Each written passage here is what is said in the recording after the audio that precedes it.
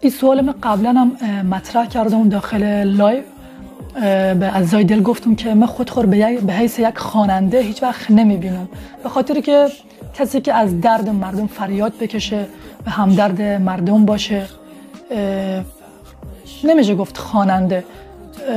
به زو باید گفت اعتراض کننده و من خود خود به حیث یک اعتراض کننده می‌بینم به حیث یک اعتراض کننده که این همه خاری و ذلت کشیده و البته همه هموطنان ما متاسفانه متاسفانه خاری و ذلت خیلی کشیدن این همه قربانی دادن. و خدا کنه که کشور ما از همه مصیبت نجات یافه به صلح در کشور ما بیاید. به خاطر امو هیچ وقت خود خود یک خواننده نمی‌بینم. یک اعتراض کننده و یک رنج کشیده یکی از گوشه کشور افغانستان. و ای که هموطنای گل عزیز لطف می‌کنن و به هر اسمی الله صدا می‌کنن و این همه محبت می‌کنن و او دیگه از مهربانی خود اینا هست و خدا کنه لایق ای باشم که بتونم بیشتر گپ دل اینا مطرح کنم و به گوش مردم عزیز برسم. در مورد رپرای کشور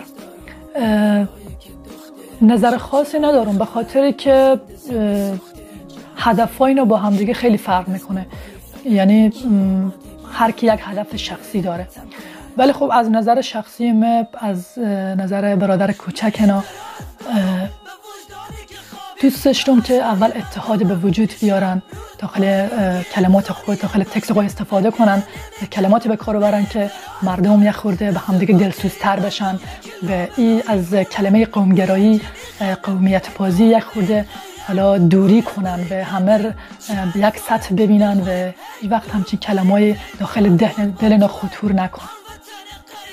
بله خب متاسفانه که هر کی می‌زنه که از یک دیگه برتری داشته باشه ولی خب به خاطر همین هم هست که فکر کنم زیاد رپ رشد نمی‌کنه و رسانه هم نداره.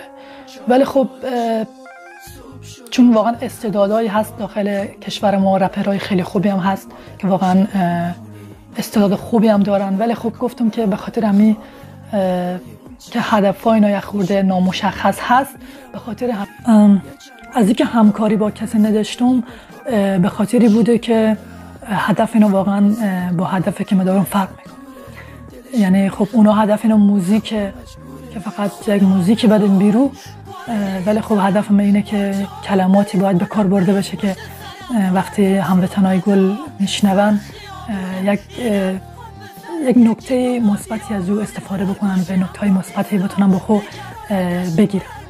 به خاطر از بوده که من با کسی همکاری نداشتم. ولی خب بودن ولی خب چون به خاطر که هدف اینا فرق می‌کرد با من به خاطر همو نشد همکاری داشته باشیم ولی خب در آینده چرا انشالله همکاری خواهم داشت. با حالا اسم نمی‌برم انشالله اگر خواست خدا باشد حتما. در آخر دیگه آرزو دارم که صلح در کشور ما زودتر بیایه و این همه اشک مادرها و پدرها ریخته نشه تا ما هم به جای این همه تکس غمگین این همه دستنوشته های غمگین دیگه شادی کنیم و موزیک های شاد اجرا کنیم و تا مردم دل نشاد باشه.